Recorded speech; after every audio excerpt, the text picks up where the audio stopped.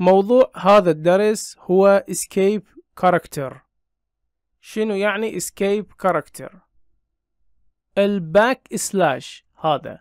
ال backslash يعتبر escape character في لغة ال C sharp راح نطبق أمثلة وراح تعرف الفكرة أكثر. أعمل new variable من نوع string أسميه full name. يساوي خالد البصراوي. أريد أخلي ال first name اللي هو خالد في double quotation يعني أخلي double quotation قبل الاسم وأخلي double quotation في نهاية الاسم بهذا الشكل.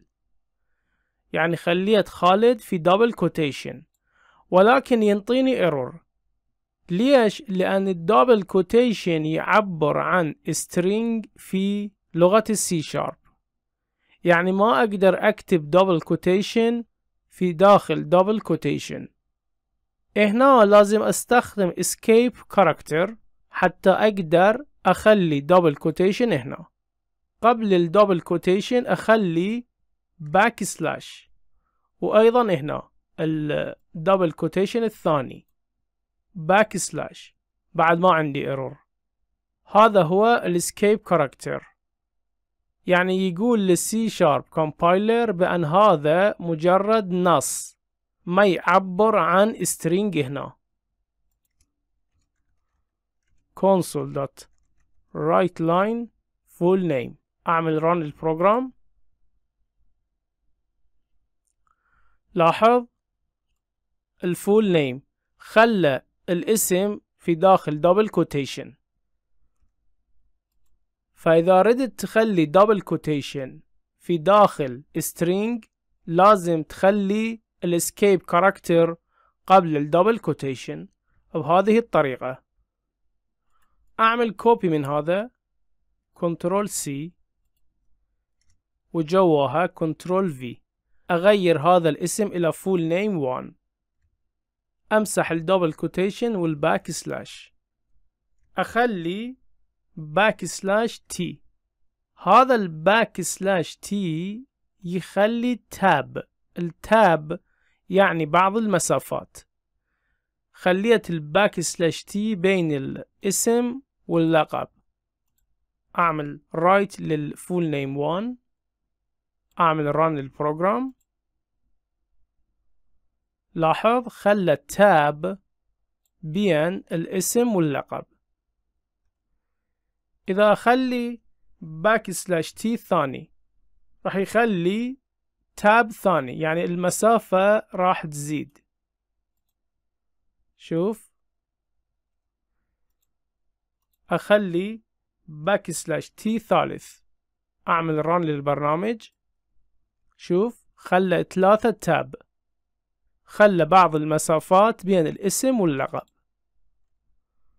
فهذا هو ال backslash T يخلي tab في داخل ال string جميل.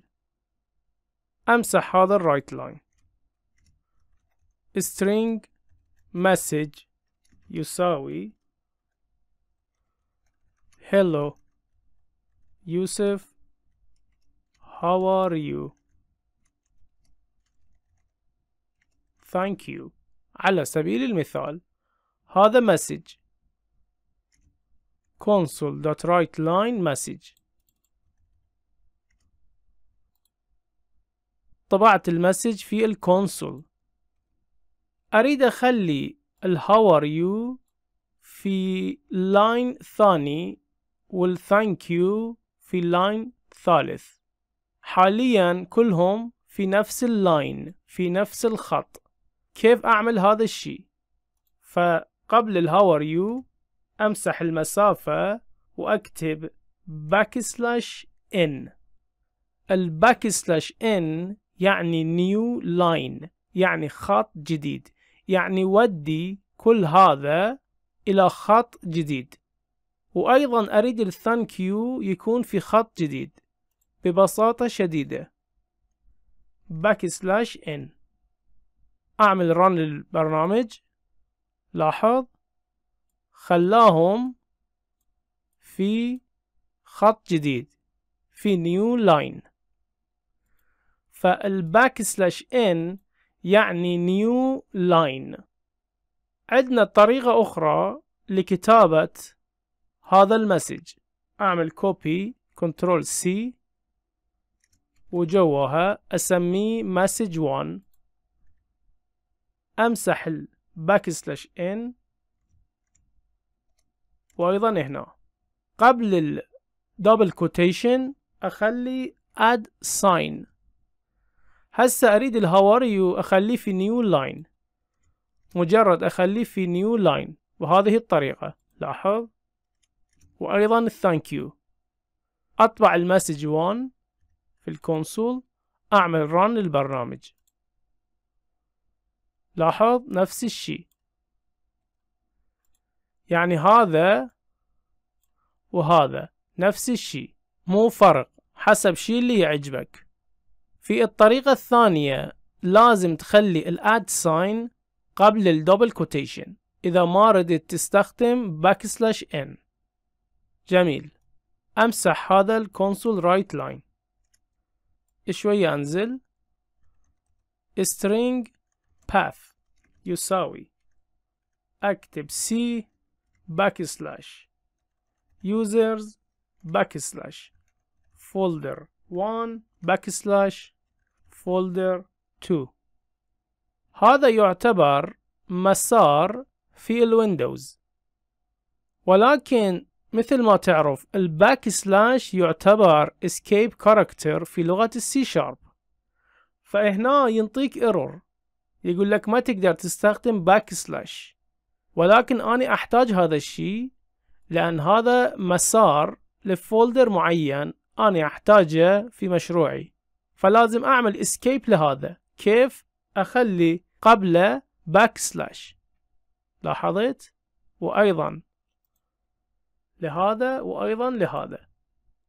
يعني عملت escape ل backslash فإذا ردت تستخدم backslash في النص مالتك لازم تكتب double backslash وهذا راح يعتبر 1 backslash write line path. أعمل run للبرنامج. لاحظ. عندي المسار مع single backslash هذا اللي أريده. أيضا نقدر نكتب هذا بطريقة ثانية. Control C أعمل copy وجوها أسميه path 1 إذا ما ردت تخلي backslash يعني تخليه على slash واحد قبل ال string تخلي at sign يعني قبل ال double quotation تخلي at sign. حاليا هذا وهذا نفس الشي مو فرق. فإذا ما ردت تخلي backslash خلي at sign قبل ال double quotation أطبع ال path 1 في ال console ونشوف. لاحظ عندي المسار.